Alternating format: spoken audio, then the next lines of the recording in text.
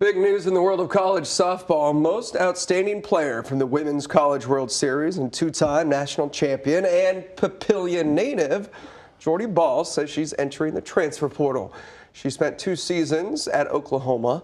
Bahl adds she's decided to return home and play the game she loves closer to her family.